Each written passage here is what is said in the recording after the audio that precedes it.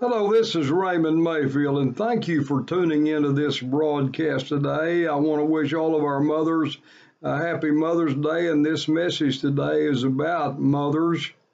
And it says in Proverbs 31 and 28 that her children rise up and call her blessed, and even even her husband rise up and calls her blessed.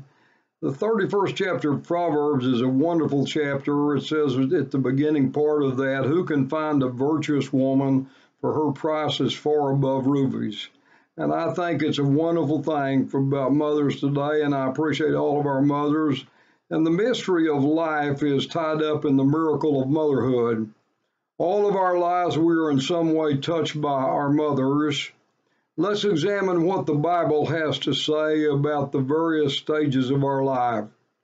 Let us pray for our mothers, for God to help them in shaping our lives. Motherhood, first of all, begins with love. In Bible days, women were regarded as just property. It seems to be a man's world. Uh, it, telling a man that he was to provide for a woman's material needs was expected but to talk in terms of loving her was unexpected. Paul said in Colossians 3 and 19, for husbands to love your wives.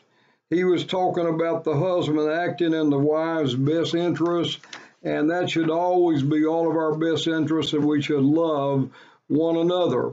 The same was expected of the wife, so love was a giving relationship. Mutual respect, mutual admonition, open communication, and joy in one another's presence. That is where motherhood really begins. Motherhood should become a possibility when a child is truly wanted. Every child has his right. Even an unplanned child uh, has his rights. Much of our child abuse comes from unwanted children. When children makes demands upon the parents who don't want them, the stage is set for bigger problems down the road. These children grow up never feeling good about themselves. Back in the early days, everyone wanted a son. A daughter meant extra support until they married. All the children are precious in the eyes of the Lord. A woman's worth should never be judged by her ability to bring forth children in the world because motherhood is more than just a physical occurrence. Children should be provided for materially, emotionally, and spiritually. That's last but not least. The bond between mother and child is established during pregnancy and from conception on it begins and that's why i'm pro-life because i believe in all my heart that it, life begins at uh, conception the demands to provide love and teaching from birth is essential until they marry, until they reach adulthood. Just think of all those years when we were legally and morally responsible. Satisfy, satisfying a baby's physical needs is paramount in the early years. Coming with that is love and protection and self esteem.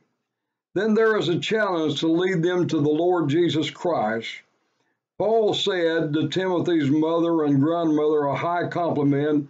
He said, I am reminded of your sincere faith, of faith that dwelled in your grandmother Lois and your mother Eunice, and now I'm sure dwells in you, 2 Timothy 1, 2 and 1 and 15 rather. What a compliment. Motherhood doesn't stop when children are grown. There's always new ways to relate to people and to our children. Needs, our need for a mother continues as long as we live.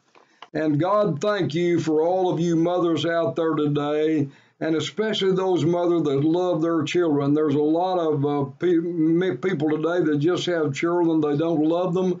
But God, thank thank all of you mothers who love your children and tries to raise them for God and teach them the right principles in life. And may God richly bless you on this Mother's Day. And my prayers go with you that God will help you and give you an anointing in your life in Jesus' name. This is Raymond Mayfield. I'll talk to you again shortly.